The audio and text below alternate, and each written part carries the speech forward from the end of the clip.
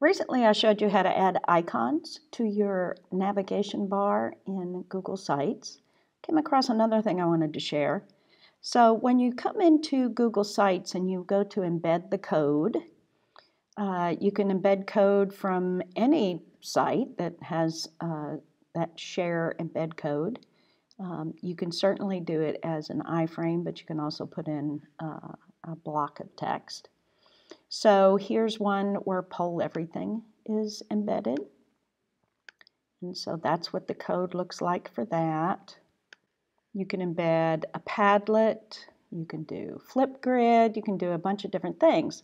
But you can also use an HTML editor and come up with your own HTML. And you can even style it with CSS.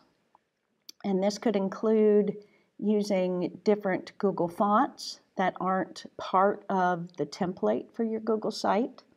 Uh, it can include adding all kinds of extra HTML that you aren't that you aren't able to inside of a Google site. So I just happen to use this particular online HTML editor. If you use something like Dreamweaver or some other online tools, uh, you can uh, grab your code that way as well. So if you have a rich text editor, then you're able to do a lot of other things that you can't do uh, in Google Sites. Once you get your text and your code all set the way you want it to, you just copy that. You come over to your Google site and you choose to embed and don't do it by URL, do the actual embed code and you can paste all of that in there. And that includes uh, a head section. So this is where sometimes you have to put additional code.